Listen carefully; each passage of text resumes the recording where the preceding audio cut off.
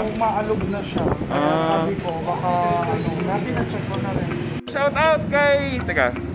Go. MTCB. Shout out kay Michael Kaling at saka kay Night Lights. Yan, dito sila sa shop. Tropa yan dito sa shop.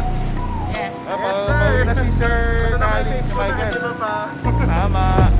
Okay, so, sir, ride safe. Right side sa atin. Oh, okay. Antipolo pa. Mo mag-invite. Opo, sa Sabado. Pero... Ayun, ayun. Quiet lang daw muna.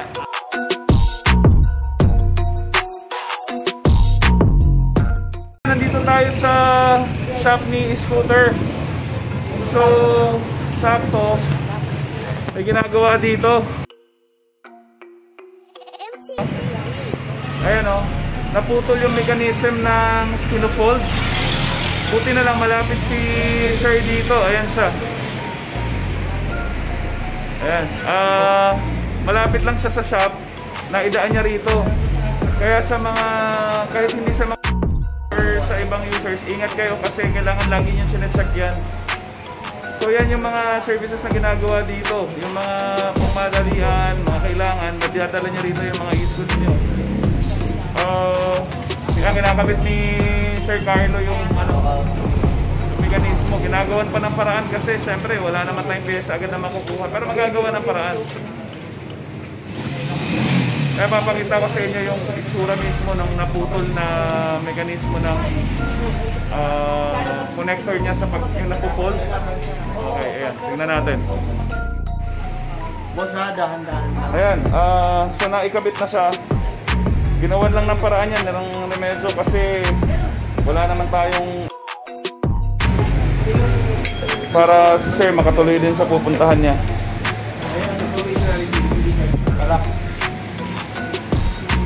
Ayan.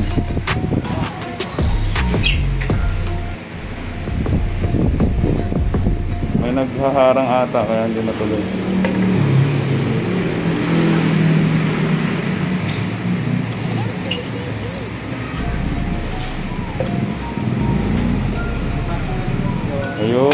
So sir, pwede ba kita matanong? Sir, ano bang nangyari sa ano? Sa unit? Ano, bali yung sitong siya, nag umuuga-uga lang siya.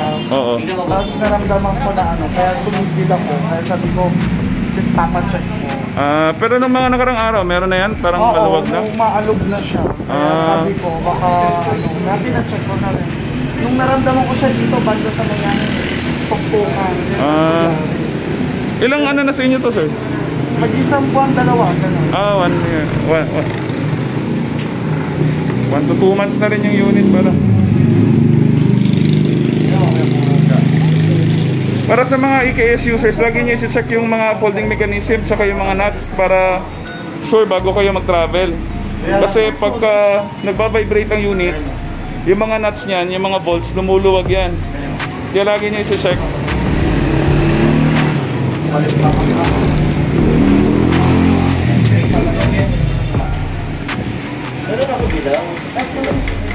Ah, papapalit pala ng ano, handle si ano sir.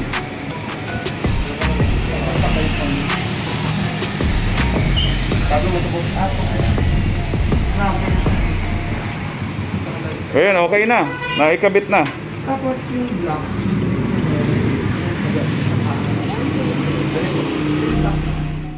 Sir Erwin, ah, matanong ko lang, buti na da, nalaman niyo yung shop po. May nagturo lang sa akin. Ah, okay. Saan po, ano, banda yung, saan po ba kay banda? Nanggal? Market-market kasi ako. Oo. From Taguig. Ah, so ito talaga yung way nyo? Oo, Dito pumunta ko muna kasi parang sa Pateros daw kasi. Ah, So unang sabi sa Pateros. E tapos sabi niya, hindi sir, doon malapit sa may ano ng stoplight. Paakyat po. Kaya binaybay ko to. ah, oo, kasi ito, pag nandito ka na, madali na mahanap. eh. Ah, okay. Kaya nalaman ko na meron rin. So ano naman to? Ano to, ano to bro? Ano tong ginagawa? Kapit lang yun, no? Kitty bar.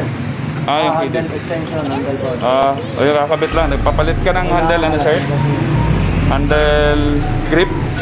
Hmm.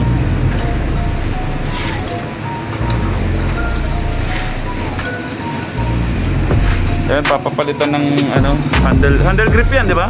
Ah, ano? Ah, oo. Papalitan din. Tapos, Ah, para may naka-ready.